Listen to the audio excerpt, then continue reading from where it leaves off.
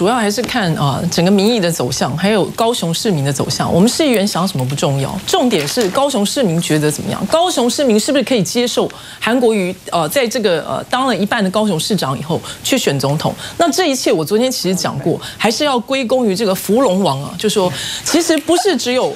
王这个世界议员是芙蓉王，整个民进党都是芙蓉王。也就是说，今天你中央执政，对整个团队继续恶搞，继续推离岸风电，继续让老百姓花两兆的钱，然后继续无视老百姓公投的结果。也就是说，今天我执政了，我高兴怎么干就怎么干，我管你民生有多么疾苦，哦，管管你将来产业要不要发展，通通不管，反正现在就是我拍板。我说了算。如果继续这样，而且继续像这个呃这个王定宇这样啊，动不动就出来讲一些这个有的没的啊，然后就是想要去黑韩国瑜一下，或者是中央跟陆委会联手起来卡韩国瑜，比如说两岸方面，我就给你穿小鞋。反正我早就讲过了，民进党是。这个韩国瑜为眼中钉啊，他他现在是民进党最怕的一个角色。民进党看到原本的国民党的天王，因为这些天王的形象都固定了。今天很多的天王都想要朝这个韩国瑜的这个韩流来来来来进化啊，来进化，变变得说更亲民啊，更能接地气。可是终究有没有办法这样做出改变啊？跟韩国瑜一样，我觉得他讲了一句话，我很欣赏。他说这个呃。政治的这些道理啊，前面一句我忘了，但是唯真不破，唯真不破，就说今天你政治人物再怎么化妆哦，再怎么像这个陈其迈，对不对？以前在立法院哇西利爸爸哦，这么这么样一些一种这种嘴脸，然后到现在他可以在网络前面装暖男啊，有一些。选民也忘了他过去是一个什么样的形象的政治人物，没有关系啊，我们就今天就看嘛。你现在也高升行政院了嘛，你你要在行政院里面，你要帮高雄一把，那是很容易的事情。愿不愿意资源下放，还是说因为韩国瑜是你们最忌惮的对象，所以你们继续给他穿小鞋，继续把他当成童养媳，不断的攻击他？那我跟你讲，高雄市民就会有所觉悟了。我们今天请了一个。非常劳心劳力，每天睡不到三个小时哦，这个身体越来越瘦，然后这个腰也受伤，手也受伤。韩国瑜这样尽心尽力在帮高雄的时候，可是我们看到的中央的蔡英文都在扯后腿，那怎么办呢？那我们高雄市民就算有了韩国瑜。我们也没有太多的指望啊，那怎么办？我们把它送到中央好了。如果高雄市民一旦这样子的想法形成共识的时候，所以我说嘛，韩国要不要出来选，要看你们的芙蓉王够不够多啊。民进党的芙蓉王越多，韩国瑜出来选的可能性就越大。佛教有一个很有名的道理，对，放下屠刀就立地成佛，再拿着屠刀乱挥乱乱挥，你们就会把韩国瑜挥到总统府去。所以，我我觉得啊，蔡英文，如果你真的还想要选，当然，其实大。家看得出来嘛？世间议员刚刚表态已经表得很清楚了嘛？大家都还看不出来吗？明眼人都看得很清楚。当然，他是中党的性格，他一定要说我继续。呃，拥护蔡英文，但是如果未来真的就是只有柯批跟韩国瑜的时候，他已经讲得这么清楚，你们还要一定要逼他说出来吗？我帮他讲一下，他绝对绝对绝对支持韩国瑜，这没有什么好讲。如果蔡英文今天就像台北市的那个呃呃姚文智姚文智的话，那他也没什么选择啊哦，所以我我觉得大家不要再逼他了，他心里的心声就是，当这个蔡英文绝对没指望的时候，我想他是会支持韩国瑜。陆慧玲。对民进党执政以及对我个人的了解，后你这一些之的偏差已经到了令人发指的地步。两他们两个人，就 是我柯文哲对你的意思是，因为我觉得不是你你是支持柯文哲吗？如果他只有两个的时候，你支持柯文哲吗？会，你要你要对韩国瑜的高度或甚至过度的期待，我觉得这个我可以理解。因为这表示说国民党的心虚，表示国民党就是吼完全人才匮乏。那确实韩国瑜是一个很好很强的人选，没有错。可是我认为为韩国瑜好，我们为国举才，应该是让这个人才这四年好好的帮高雄做，那让他慢慢一步一步的历练，未来可能二零二四、二零二八。那他再来参选大位还不迟，我想这会是绝大多数我们全国的民意大概这么看待。还有我简单讲，刚才那个秀玲列了好几位议员，包括吴敦义，说如果啊这个提韩国瑜，后吴敦义讲的最彻底，他说这个总统大位提名，他说是完全开放，完全开放啊。对我跟大家报告哦，吴敦义一向是口是心非啦，哦，所以千万不要信他讲，哦，他绝对不是这么讲。大概从现在今天，你反弹干嘛？今天大家你们大家全体一致，就是要拱韩国瑜参选二零二零的话，我想从今天开始，吴敦义大概每天晚上都射箭靶，在晚上练飞镖都是练 那个韩国瑜的头像哦。哎，王远，如果如果吴敦义是说哦完全开放的话，那他设一大堆机关，摆一大堆暗器要干什么呢？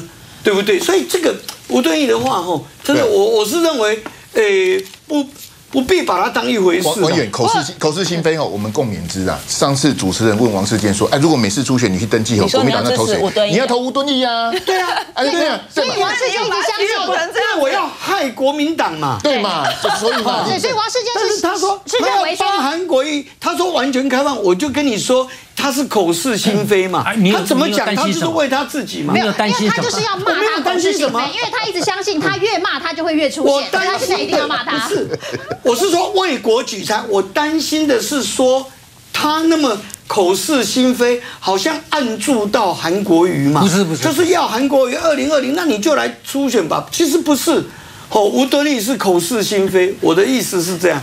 不是，我觉得世间哈，你最近逻辑混乱了。没有没有没有因为因为你的心哈就是烦的，所以你如果吴东义像你讲的设了很多暗机关啊，设了很多暗器啊，为了图利自己啊，那你应该最高兴才对，因为蔡英文能够打败的国民党对手只有吴敦义啊，对不对？所以你你应该高兴才对啊。对啊，我高兴，所以我他他刚才他弃械弃暗投明说哦完全开放，我才说那个是他口是心不过非不。过我要讲哈，刚刚唐慧玲议员所讲的一些话，你说令你法子啊，哈，发指，不就是就是说他的那个误解我我说啊我说你讲这个我佩服，为什么？因为也只有你才有这个法子的本钱啊。这个如果讲到韩国语的话，韩国瑜根本根本没有办法法子啊，爱有汤摸呢，不汤摸是不是法子下？你买菜啊，啊，所以我我认为哈，你们刚才的讲法啊，我我要讲我的看法了，好，因为我脸书昨天贴了。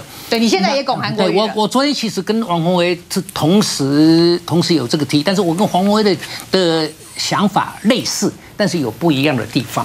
那我我借这个机会给给大家报告了哈，我其实不挺韩国瑜选总统，如果非有非常的必要的话，最好不要哦。所以我直到三天前，我对韩国瑜的要不要选总统的看法跟王世坚完全一样。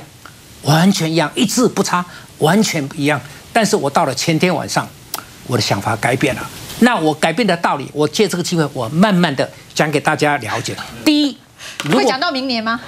如果如果不会，我们节目有多久的时间你你不，你不用担心。如果我今天讲的这一段收视率掉下去的话，我下一次来的时候陪你哦。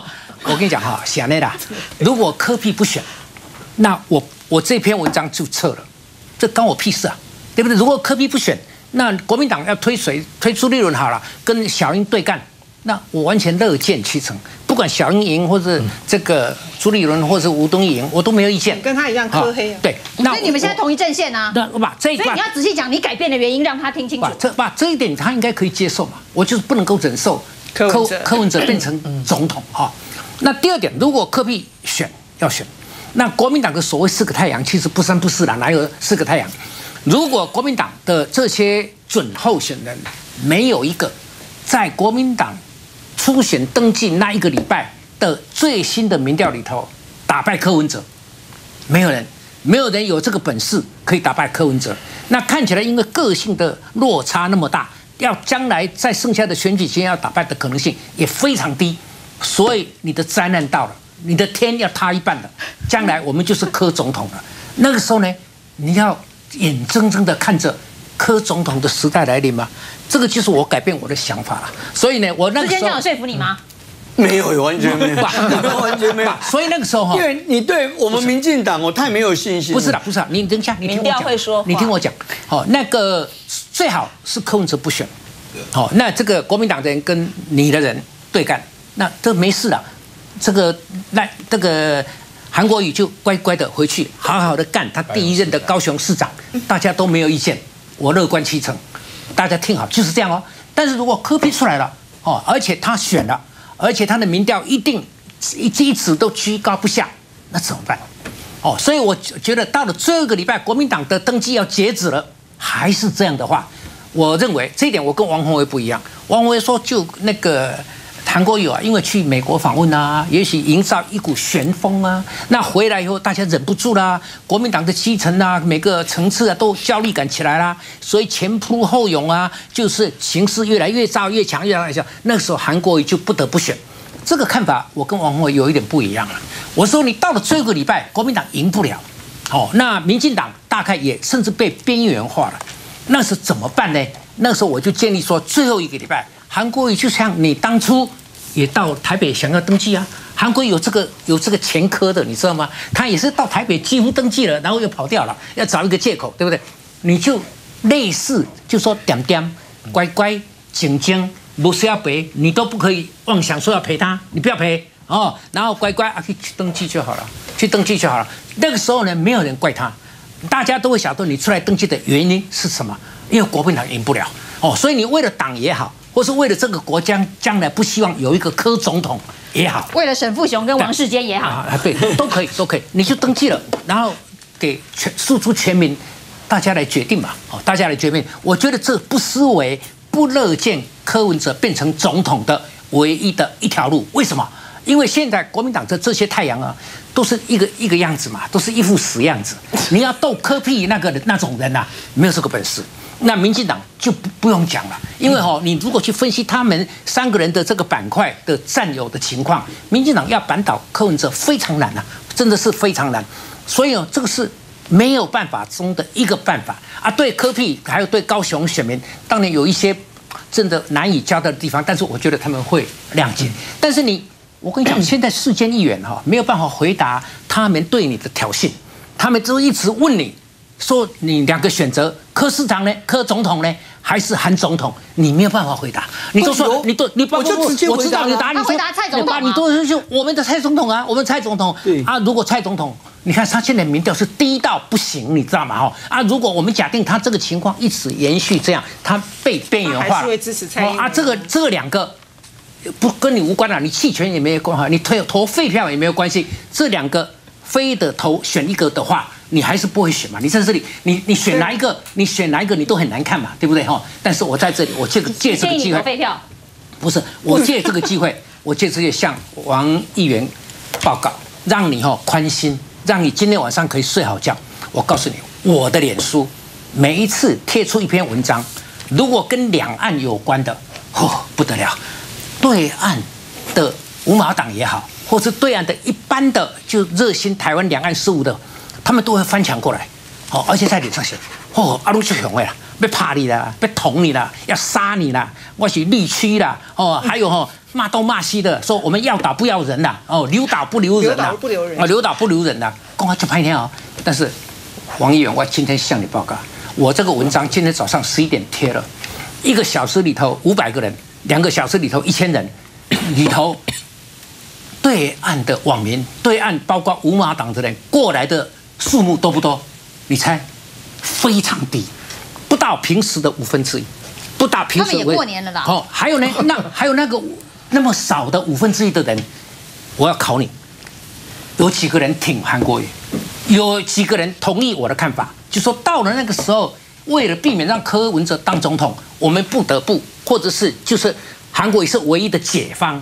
好，那我们来挺韩国大陆过来的网民，你觉得有哪有几个人挺这个想法？你你猜猜看，你你猜就好。我对铁木地区的 民众，我没有了解啊。这这个你你你你没有智慧型手机不上不是不是，你今天这个回答哈，当然也很很老实的哈。你刚才讲的为真不破嘛哈，现在韩国讲一个为真不破，其实我是不同意的，因为大家都真了以后啊。